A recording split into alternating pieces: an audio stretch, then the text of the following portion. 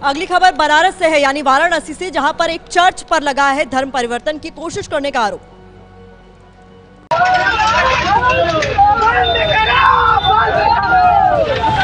धर्म परिवर्तन को लेकर वाराणसी के दशाश्वमेध इलाके में सेंट थॉमस चर्च के बाहर हिंदू युवा शक्ति के लोगों ने खूब हंगामा किया।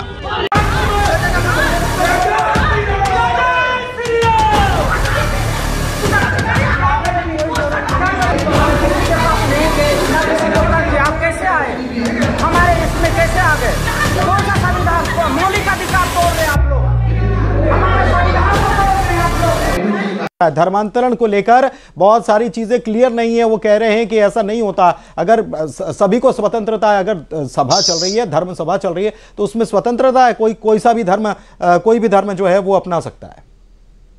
पुनित जी देखिए मुझे बड़ी हैरानी होती है कि ये जो जिनको पादरी बता, बताया आपने कि वो वो बड़ी चिकनी चुपी बातें कर रहे हैं कि मैं ये अपने पीस कमेटी में हूँ और धर्मांतरण होता नहीं है धर्मांतरण जो है संविधान प्रदत्त अधिकार है। हमने कोई जबर धर्मांतरण नहीं किया। मैं आ, ये जो जनजाति क्षेत्र है जनजाति क्षेत्र में आखिरकार जनजाति समाज के लोगों को इनके विरुद्ध खड़ा क्यों होना पड़ता है भाई? आखिरकार चर, चर्चाओं जो पादरी जब घरों में जाते हैं और वो वो जो प्रार्थना सभाओं के नाम पर जिस तरह से धर्मों का धर्म का हरण हो रहा है उसके विरुद्ध जनजाति समुदाय क्यों खड़ा होता है भाई? तीसरी बात ये बताइएगा मुझे जनजाति क्षेत्र में धर्मांतरण पर पूरी तरह से रोक है। संविधान प्रदत्त अधिकार है उनको जनजाति समाज के आप जाकर किसी का धर्म नहीं बदल सकते। इसके बाद भी कॉन्स्टिट्यूशन राइट का हनन करते हुए ये धर्मांतरण का अड्डा चला रहे हैं। तो फिर कहते हैं कि हमने जान यूसुफ साहब से जवाब ले लेते हैं।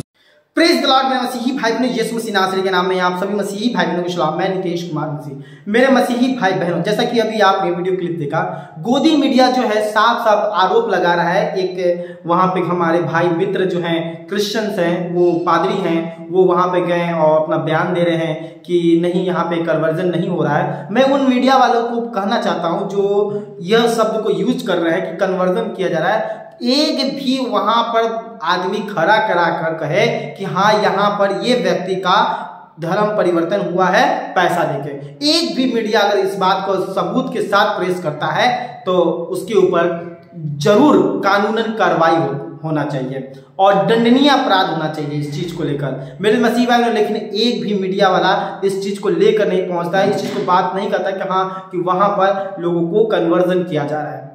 मेरे भाई ऐसे ही अफवाह सब फैलाने की कोशिश किया जा रहा है, लोग फैला रहे हैं, अफवाह, गोदी मीडिया फैला रहे हैं, और कुछ लोग जो है, नफरती चिंटू फैला रहे हैं, जहाँ पे दुआ प्रार्थना होता है, वहाँ पर तुरंत पहुँच जाते हैं, और इस तरह से बोलते हैं, अपना जय श्री राम का नारा लगाते हुए वो चर्च के अंदर घुसते हैं और बोलते हैं कि यह लोग जो है कन्वर्जन किया है। लेकिन जब वो घुसते हैं तो एक भी बंदा को तो वहाँ पर पकड़ के बोलना चाहिए कि हाँ उठो तुम्हारा हुआ ना जी। हाँ उठो, तुम्हारा हुआ ना जी। लेकिन ये लोग सिर्फ़ प्रार्थना सभा को भंग और ईसाइयों को बदनाम और यीशु मसीह की आराधना ना हो, यीशु मसीह का पवित्र आत्मा उसके पास ना आए, जो परमेश्वर हमें दिया है एकलौते पुत्र यीशु के द्वारा, वो हम लोगों के पास ना आए, शैतान इस तरह से काम करता है और जहाँ दुआ प्रार्थना होता है, वहाँ पर कन्वर्जन का नाम देता है और नफरती चिंटू और जय श्री राम का नारा लगाते हुए प्रार्थना सभा को भंग किया जाता है। मेरे मसीह भाई बहनों मैं आपको एक बात और बताना चाहता हूँ। वो लोग खुलेआम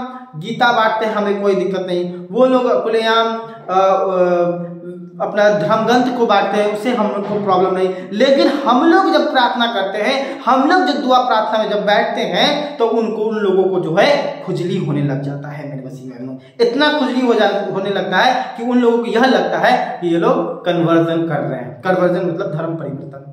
मेरे मसीह बहनों, सोचिए, यहाँ पर आज इंसान इंसान का ही दुश्मन बन गया है। ये अंत का समय चल रहा है मेरे मसीही भाई बहनों हम आप लोग से निवेदन करते हैं कि ज़्यादा से ज़्यादा इस वीडियो को शेयर कीजिए लाइक कीजिए कमेंट कीजिए और हमें जीसस बुलाते यूट्यूब चैनल को सब्सक्राइब कीजिए। Thank you God bless you खुदा आप सबको आशीष दे। आमीन